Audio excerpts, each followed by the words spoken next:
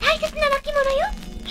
さあ早く藤丸様に届けましょうしかしミカたちの話を物陰で盗み聞きしていた者があった。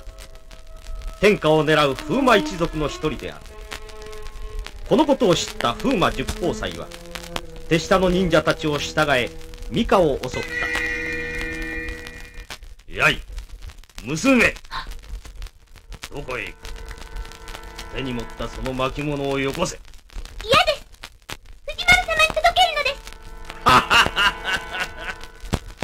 強い小娘だ。それでは仕方がない。少し痛い目に遭わせるがよいか。十宝斎は恐ろしい顔でミカに迫っていった。とその時。わしだ。藤丸様だ。待て。藤丸様。いや藤丸だな。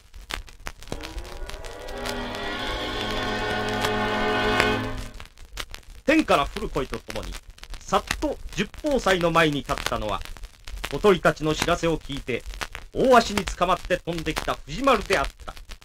そうだ風の藤丸だ。十宝斎卑怯だぞ。何をこしゃくだ。邪魔だどけ！黙れ十宝斎。藤丸が相手になってやる。来い！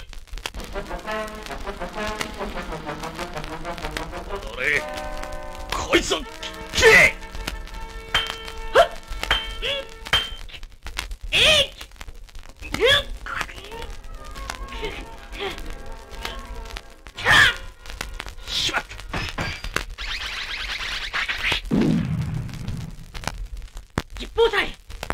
れてもダメだ。踊れ。の火炎受けてみろ。焼き殺してやる。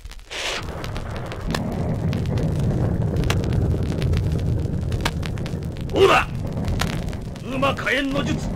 思い知ったか。なことえい。おあっちだ。しこいやつ。よし。こうなったら容赦しないぞそれよしお前が火炎の術なら藤丸はこの手だ。えいえいやー。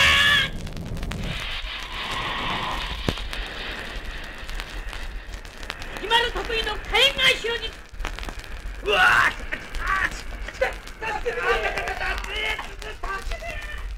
とうとう逃げ出したな。藤丸様危ないところをありがとう。いや大事な巻物を守ってくれてありがとう。それから本吉セロも。どういたしまして。恥ずかしいよ。どんな敵が現れてもこの巻物を藤丸は守り抜くぞ。そうだ。本吉がついてるよ。ちんなこと言ってる長老だよ。あら私もよ。そうさ。みんなで力を合わせ明るい時代を作るために頑張ろう。藤丸は力強くそう言って空を見上げた。空は爽やかな青空だった。時は戦国嵐の時代でっかい心で生きようぜ。風吹きまくれ吹き荒れろ虹がくれた火炎の術だ悪い奴